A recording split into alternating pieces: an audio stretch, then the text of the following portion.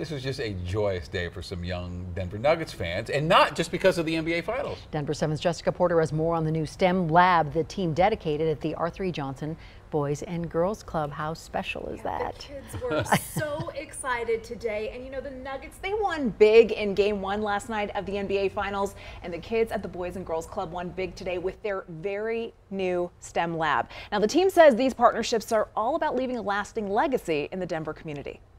To all the kids here, I, the club teaches us to dream big. Let's dream big for ourselves and the Denver Nuggets. Some very lucky kids got to shoot hoops with the pros at the Arthur E. Johnson Boys and Girls Club in Denver.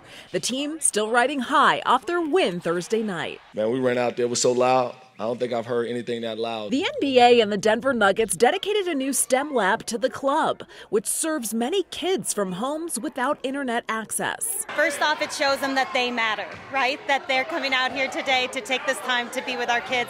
Second, it helps our kids see the opportunities and set their own dreams and their heights higher than they ever could have imagined on their own. The new lab has fresh paint, wall graphics, updated flooring, new furniture, and STEM technology. STEM center, you have this gym. Take advantage of this opportunity. You have all these things at your finger at your fingertips and uh, just use it and have fun with it and embrace the moment. The Nuggets donated $45,000 for the new lab through the NBA Cares program, which gave the team funding to donate to charity for making it to the Western Conference Finals and the NBA Finals. The Nuggets have had a long-time partnership with this particular Boys and Girls Club. So much of the reason why people get involved in professional sports is to help build these community assets. And I think it's also, you know, when, when you show your support for the community, the fans stick with you through thick and thin.